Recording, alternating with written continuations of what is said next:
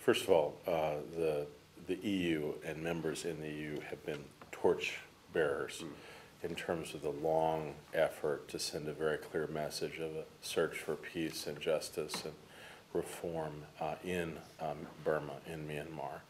And so we've, we have had, re- you know, remarkable cooperation over decades with key countries and aspects of the EU. And that's reflected in a number of institutions, including the so-called Friends of Burma, that meet regularly either in Europe or in uh, uh, New York under the auspices of the United Nations.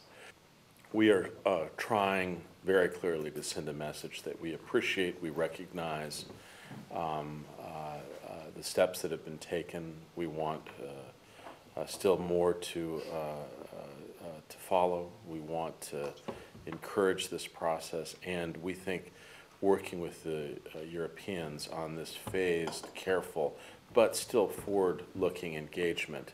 is probably the most important thing that we can do uh, on the ground inside of uh, Burma today.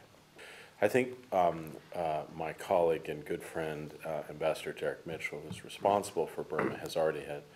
uh, a couple of visits to Europe to ensure that we're closely cooperating on the way, on the way forward. And again, our interaction has been very detailed, and I think we all share uh, a similar goal and set of aspirations with respect to what's transpiring inside the country. I think first and foremost, there is a recognition that this is the most hopeful reform that we have seen in decades, and that it offers the, uh, the prospect and possibility of a very different society. Uh, We have also seen a number of steps with regard to the release of Aung San Suu Kyi, her, uh, you know, upcoming participation in the political process, uh, dialogues underway with many of the ethnic groups, uh, release of a very substantial number of political prisoners, and a whole host of other activities that are um, important um, and uh, very much to be welcomed.